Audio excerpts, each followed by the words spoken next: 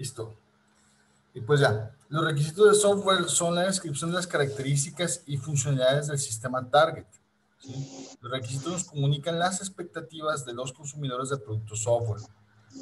Los requisitos pueden ser obvios o estar ocultos, conocidos o desconocidos, esperados o inesperados desde el punto de vista del cliente.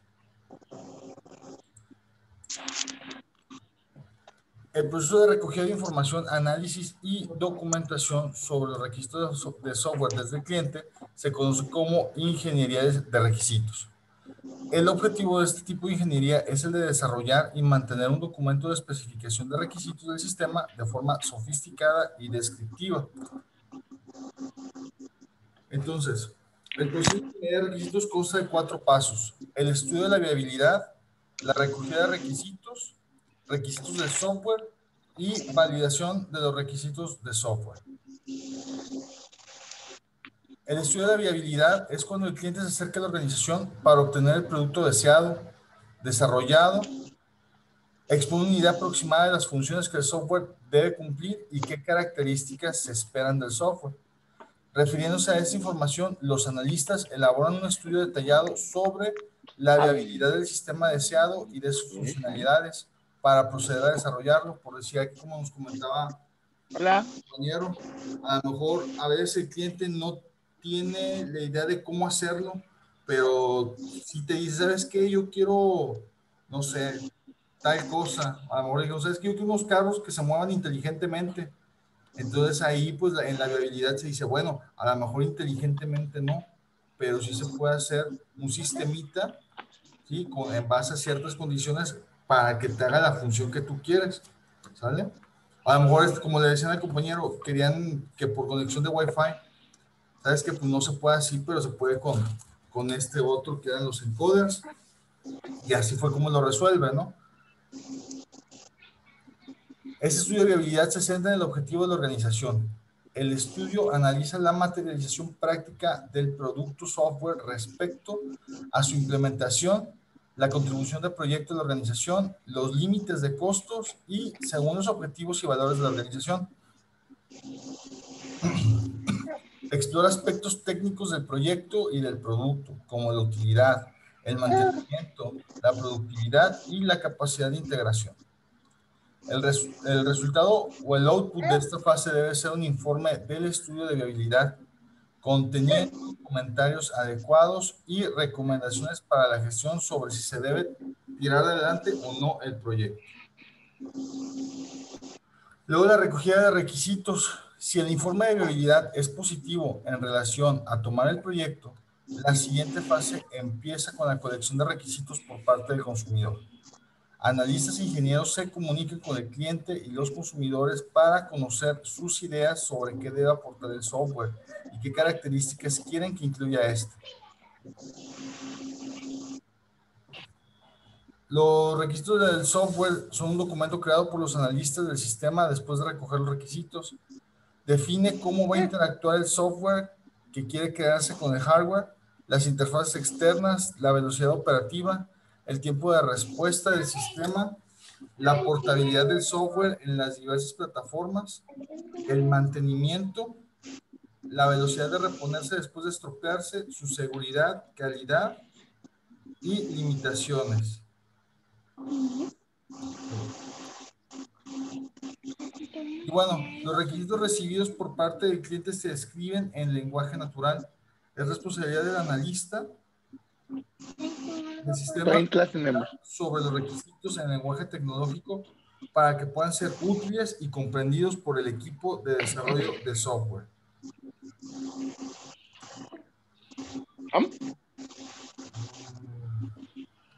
Entonces, la, el SRS debe venir con las siguientes características. Los requisitos de usuario se deben expresar en lenguaje natural.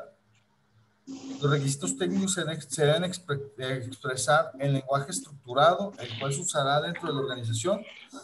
La descripción del diseño se debe escribir en pseudocódigo. Déjenlo ahí. El formato de forms y eh, impresiones de pantalla y anotaciones condicionales y matemáticas para el DFDS.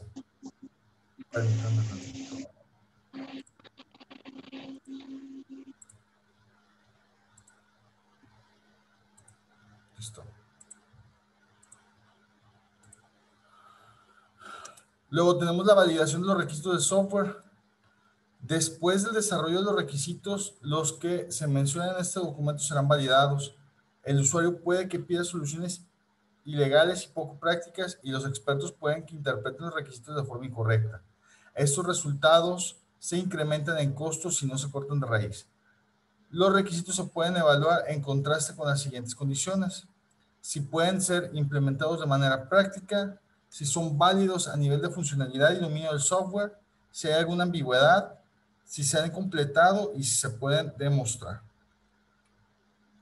Entonces aquí tenemos un proceso de deducción de requisitos. El proceso de deducción de requisitos se puede representar usando el siguiente diagrama. Primeramente, identificación de los requisitos, los requisitos de organización, la negociación y la especificación de estos requisitos. Entonces, para el proceso de, deducción de requisitos tenemos primero la recogida de requisitos. Los, desarrollos, los desarrolladores hablan con el cliente y los consumidores finales para conocer sus expectativas respecto al software. Organizar requisitos. Los desarrolladores priorizan y organizan los requisitos en orden de importancia, urgencia y conveniencia. La negociación y debate. Si los requisitos son ambiguos o hay algún conflicto en los requisitos de varias acciones, de, varios accionistas, hay una negociación y un debate con ellos. Los requisitos entonces se priorizan y se acuerdan de manera razonable. Los requisitos vienen de varios accionistas. Para eliminar cualquier ambigüedad o conflicto, se debate con claridad y corrección. Los requisitos surrealistas se acuerdan de forma razonable. Hay veces que los clientes te van a pedir que hagan ciertas cosas o que, que tu software realice ciertas acciones, pero bueno, con relación al tiempo calidad y todas las necesidades, pues se tiene que llegar a un acuerdo para visualizar que a veces pues no se puede todo. La documentación, pues los requisitos formales y no formales, funcionales y no funcionales son documentados y se ponen disponibles para procesar en la siguiente fase. Y bueno, las seducciones de requisitos son procesos para encontrar los requisitos para un sistema de software que se intenta desarrollar usando la comunicación con el cliente, los consumidores finales, usuarios del sistema y otros que tienen algún papel en el desarrollo del sistema de software.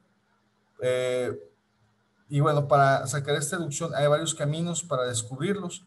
Por decir, pueden ser entrevistas, encuestas, cuestionarios, análisis de tareas, análisis de dominio, lluvia de ideas, modelo de prototipos y la observación.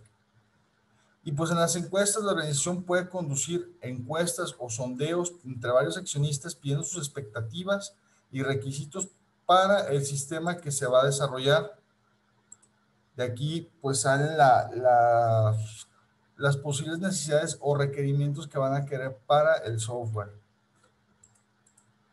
Cuestionarios.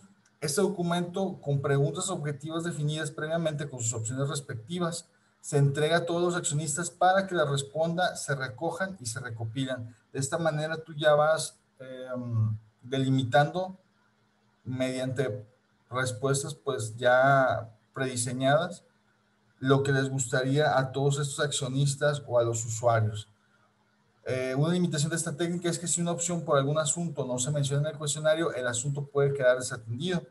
Pero bueno, te repito, esta forma de cuestionario es ya para cuando tú ya tienes un, programa o un, o, un este, o una idea de qué es lo que quieres y simplemente te dedicas a delimitar para escoger entre una o varias acciones, pero bueno, en fin de cuentas, todo está eh, dentro de las posibilidades. El análisis de tareas. El equipo de ingenieros y y de desarrolladores puede analizar la operación por la cual se requiere el nuevo sistema. Si el cliente ya tiene algún software para realizar ciertas operaciones, se estudia y los requisitos del sistema propuesto se recogen.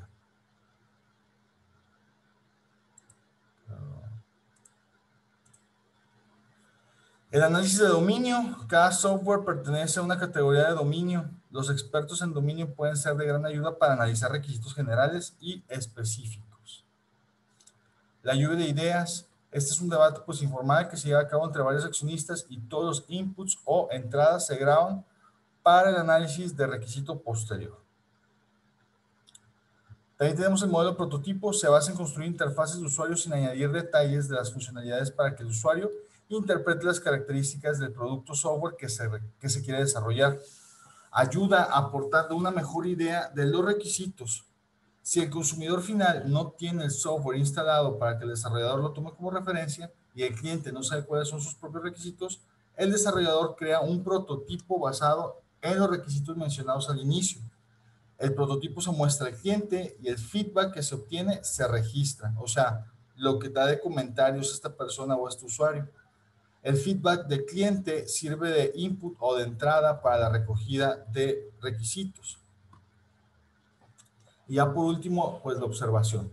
El equipo de expertos visita la organización o el lugar de trabajo de los clientes, observan el funcionamiento de los sistemas instalados ya existentes. También observan el flujo de trabajo y cómo se tratan los problemas de ejecución. El equipo traza las conclusiones que ayudan a formar los requisitos esperados para el software. Y bueno, las características de los requisitos del software. La recogida de requisitos del software es la fundación de la totalidad del proyecto de desarrollo de software. Por ello, debe ser clara, correcta y bien definida. Una completa especificación de, de requisitos software debe ser clara, correcta, consistente, coherente, comprensible, modificable, verificable, priorizada, sin ambigüedades, trazable y tener un origen creíble. Y bueno, en los requisitos de software debemos intentar entender qué tipos de requisitos pueden aparecer en la fase de deducción de requisitos y qué tipo de requisitos se esperan del sistema de software. En líneas generales, los requisitos de software se deben caracterizar en dos, categorías, requisitos funcionales y requisitos no funcionales. Los requisitos funcionales, pues, son los que se relacionan a aspectos funcionales del software, irían en esta categoría. Definen las funciones y la funcionalidad en y desde el sistema software. Por ejemplo, buscar una opción dada al usuario para buscar desde varias facturas. El usuario debe ser capaz de enviar por correo electrónico cualquier informe a la dirección. Los usuarios se pueden dividir en grupos y los grupos pueden tener derechos diferentes debe cumplir reglas empresariales y funciones administrativas. El software se desarrolla manteniendo intacta la compatibilidad en descenso. Y luego tenemos los requisitos no funcionales. Esos requisitos son los cuales no están relacionados con aspectos funcionales al software. Son características del software implícitas o esperadas, asumidas ya por los usuarios. Los requisitos no funcionales incluyen pues la seguridad, el acceso, el almacenaje, configuración, actuación, costo, interoperabilidad, flexibilidad y recuperación de, desastre, así como la accesibilidad. Los requisitos se categorizan de forma lógica como tienen que tener, deben tener, pueden tener y lista de deseo. Es decir, los tienen que tener, pues son los requisitos que el software no puede ser operacional sin ellos. ¿sí? Los deben de tener motivando la funcionalidad del software. O sea, esto es lo que debe de tener pues para que cumpla su función, ¿no? Los pueden tener, son los requisitos que el software aún puede continuar, o sea, continuar funcionando bien sin estos requisitos. Normalmente estos también se dejan para la lista de deseo para en futuras actualizaciones y la lista de deseo, pues son los requisitos que no tienen ningún objetivo de software. ¿Ok? Mientras se desarrolla el software, el tiene que tener se debe implementar. El debe tener es un asunto de debate y negociación. En cambio, el puede tener y la lista de deseos se pueden mantener para futuras actualizaciones del software. Ah... La interfaz de usuario es una parte importante de cualquier software, hardware o sistema híbrido. Un software es ampliamente aceptado si es fácil de manejar, rápido en responder, efectivo tratando eh, de errores operacionales y aportando interfaces de usuario simples y consistentes. Creo que esta ha sido la base de los últimos, de los últimos avances en, en aplicaciones y todo eso. Mucha gente ya ves que luego dice, es que los niños, este, los niños ya nacen genios porque, porque hay personas, no sé, de 50, 40 años y no les saben mover al celular, pero hay un chiquillo como de 6 años que se mete a YouTube, casi casi te, ya hace videos en TikTok y todo eso, ¿no? Pero realmente no es porque los niños sean genios. Ustedes sabrán que los genios son todos los que están detrás de, de todas las aplicaciones, de todas las creaciones de software, porque ellos interponen una interfaz de usuario fácil, intuitiva y sobre todo fácil de usar, ¿no? Que hasta un niño de 6 años lo puede utilizar. Entonces, prácticamente esto es lo que ayuda a, que un software sea aceptado entre los usuarios, incluso pues, en un cliente, ¿no? Que te solicite por un proyecto. La aceptación del usuario mayormente depende de cómo éste puede usar el software. La interfaz de usuario es el único camino para percibir el sistema por parte de los usuarios. Un sistema software de buena actuación también debe estar equipado con interfaces de usuario atractivas, claras, consistentes y receptivas. En caso contrario, las funcionalidades del sistema software no pueden usarse de una manera conveniente, porque ya se, le, ya le complica la vida al usuario, ¿no? Un sistema se dice que es bueno si provee lo suficiente para ser usado eficientemente. Y a continuación les mencionaré brevemente algunos requerimientos de interfaz de usuario.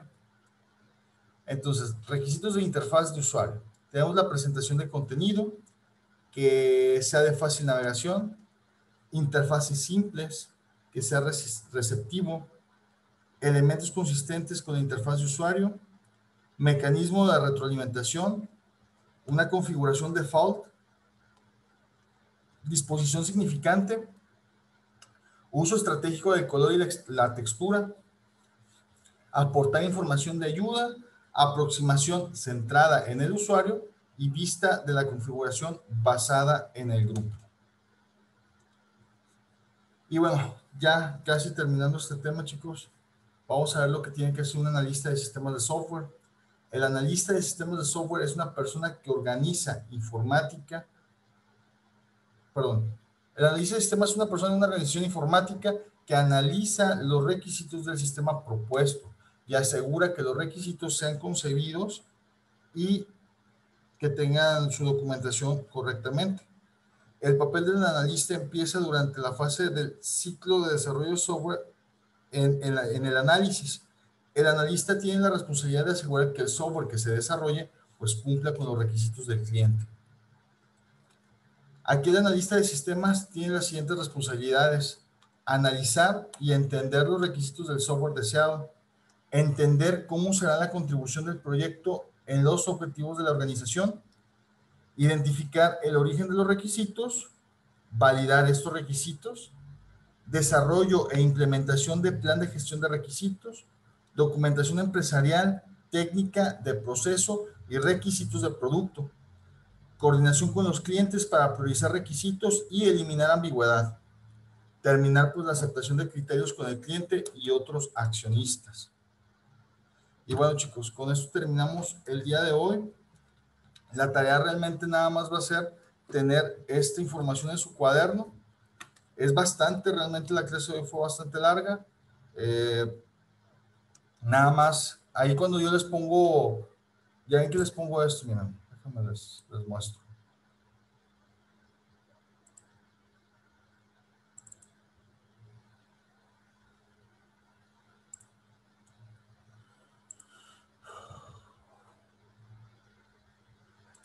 Ok, en estas partes donde pongo clase 1, ingeniería de software, que lo pongo como tarea, pues mira, aquí ya presentaron 6. Aquí en esta parte yo suelo ser, este, ¿cómo te digo? Suelo ser flexible en el aspecto de que me lo pueden entregar hasta días antes de terminar el, el curso, porque comprendo que la mayoría de ustedes trabaja. Entonces, nada más chequen que cuando ya vaya a terminar la clase, pues ya tengan todos sus resúmenes ingresados por aquí. ¿Sale? El día de hoy no voy a poner nada en análisis de la información, simplemente voy a poner la clase de hoy en eh, ingeniería de software y pues ustedes en la semana tendrán todo el tiempo para ingresar su resumen. ¿Sale? Profe, nada más una pregunta. Ahí en el resumen, ¿algo en específico? O sea, tiene que ser media hoja, tres cuartos, algo. Mm, mira, ese software, digo, ese software, ando bien loco ya. Esa, eh, ese resumen eh, no es para mí. Yo haz de cuenta que lo voy a ver, voy a leer, pues yo, yo hice las presentaciones, entonces me voy a dar idea de que pues, tienes de todo. Si lo tienes de todo, pues adelante. Ese resumen te va a servir a ti para poder estudiar para el examen. Entonces, si tú quieres hacer media hoja, yo te lo voy a poner como, ah, sí, bien, y ya. Pero pues, hay que le sirves a ti, a mí ya no, más que para dar clases y pues esta clase es repetida. ¿Sale? Entonces, si quieres hacer media hoja, una hoja, dos hojas, tres hojas, diez hojas, es como tú lo vayas a querer. Maestro, eh, eh, eh, el resumen va a ser de la clase o nos va a dar temas para sacar el resumen? Es de la clase, yo te voy a poner aquí las diapositivas del día de hoy, te las voy a poner aquí, tú las vuelves a leer si quieres, haces el resumen y me las vas a subir a, a Classroom, las, las clases en los archivos y ahí vamos a sacar el resumen. Así es. La, la, misión es como que súbeme lo que entendiste y aprendiste de la clase aquí en este Exactamente. documento. Ah.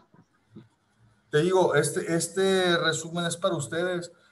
Los exámenes, va, como es pura teoría, va a ser completamente teoría de lo que estamos viendo. Entonces, si en el día del examen tú tienes alguna duda, pues puedes revisar por ahí tus apuntes. Si tus apuntes están incompletos, pues a lo mejor te va a faltar, ¿verdad? Por ahí.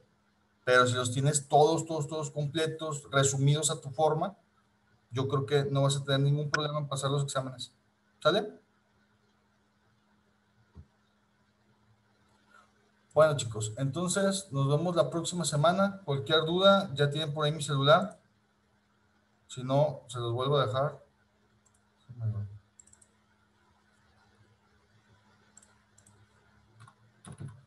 Ay, Es mi celular 833-245-5911. Cualquier cosa, si tienen algún problema, van a faltar la clase, avísenme. Este, si tienen, si conocen chicos de esta clase que no hayan entrado, que estén medio perdidos, díganles que, pues que se integren y pues ya. Pase un bonito fin de semana. ¿Sale? Gracias, profe. Gracias, profe. Dale, hasta luego. profe.